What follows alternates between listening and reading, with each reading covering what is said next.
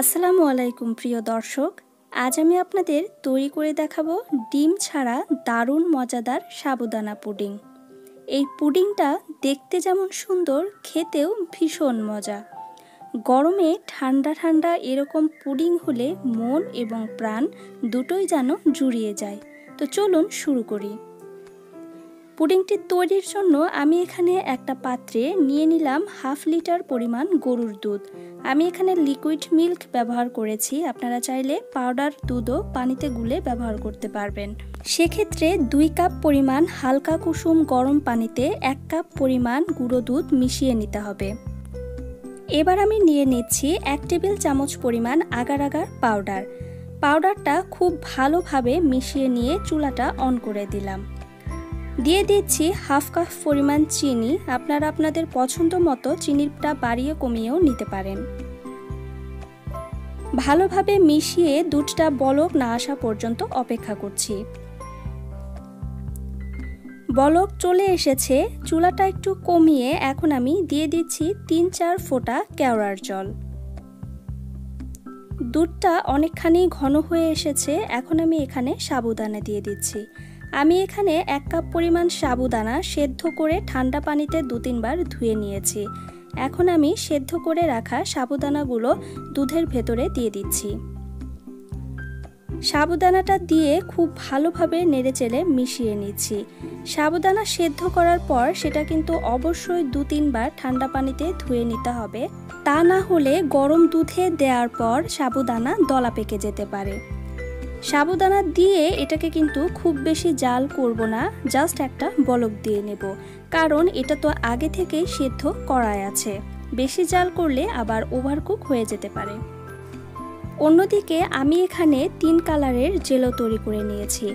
কোনো ধরনের agar agar powder ব্যবহার ছাড়াই কিন্তু আমি এই জেলোগুলো তৈরি করে নিয়েছি। প্যাকেটে থাকা জেলি মিক্সচার দিয়ে কি করে এই জেলো তৈরি করতে হয় তার একটা ভিডিও কিন্তু অলরেডি আমার পেজে শেয়ার করাই আছে।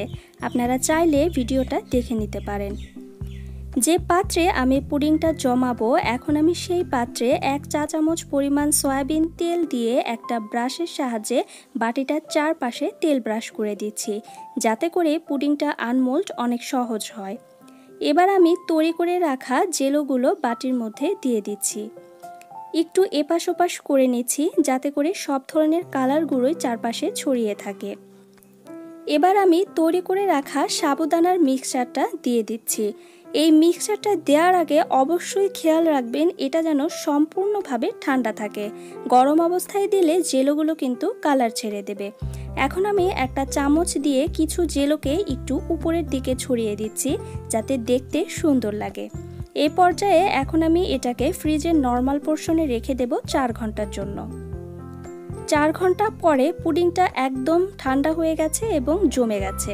এবং বাটিটা একটু কাত করলেই পুডিংটা খুব সহজেই বাটির গা থেকে ছেড়ে আসছে।